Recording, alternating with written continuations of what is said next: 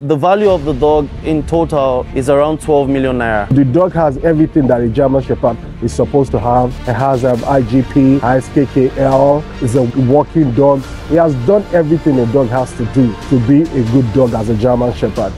It took us a while to go into searching for the right dog for our community.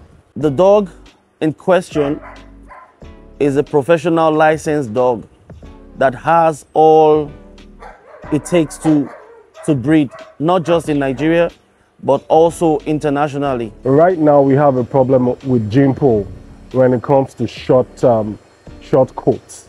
So I looked into the gene pool that we have around, and to get unique gene pool, to get a unique bloodline, you have to pay unique money, unfortunately.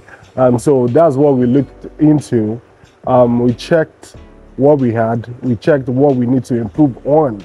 We have realized that most of the dogs we have in Nigeria, either they are from uh, Willie Coqueland and, and the famous three dogs globally.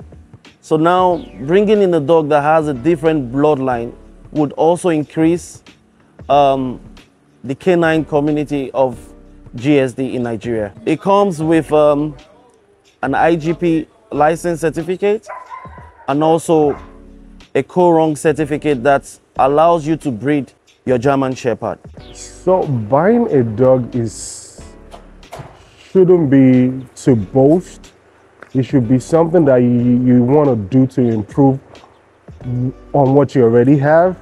So for me, before I buy a dog, I look into what I already have in my stock and I look into what I can use to improve on what I have already. So what do I do?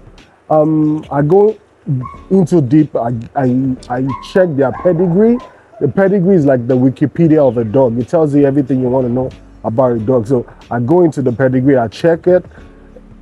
From the pedigree, you can visualize what you want and how your stock is going to turn out at the end of the day. So I always advise people read the pedigree, digest them, and look into what you already have in your stock to know what is going to improve it. It's not only about bringing in dogs. Mostly um, breeders look into the conformation of the dog or the height of the dog or they check the structure of the dog, but it is absolutely wrong.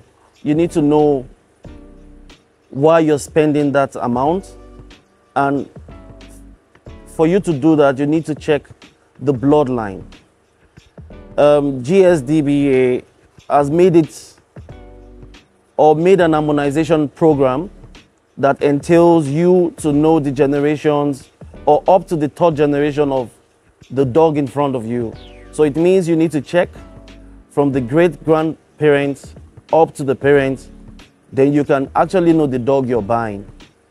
And not just that, now that we have this education about not just buying a dog, but also having to check if the dog has done certain or basic things. And these basic things are the DNA done by German vet, certified, also the hips and elbow. Uh, we've been buying dogs where breeders will tell you um, on the export pedigree that you have, we've done the HDED and it's stamped. And then you bring the dog to Nigeria and then the organization in Nigeria asks you where's the certificate or the license of the HDED. And going back to the breeder, they tell you they don't have any of such. So it is super important that you get a dog that has the HDED done and also the DNA. So the dog has everything that a German Shepherd is supposed to have it has um, IGP, ISKKL. It's a work, walking dog. He has done everything a dog has to do to be a good dog as a German Shepherd. And that doesn't come cheap. Maybe that's why we paid that much for the dog. So once again, my name is Tokumbo Elesomi. My name is um, Akimaya Walano, co-owner of Ile at Lord Mayor, Kennel. We stand for breeding towards perfection. We've been breeding for a while and we breed for excellence we breed in such a way that we will be proud of our stock when it's outside. recently one of our stock just won, won the best GSD in Nigeria. And I always advise people it's not only about breeding and selling. No, we are selling your dogs too. Thanks to um, Africo doing great job with the dog we sold to you. Thank you. The dog won. Great job, guys. Thank you.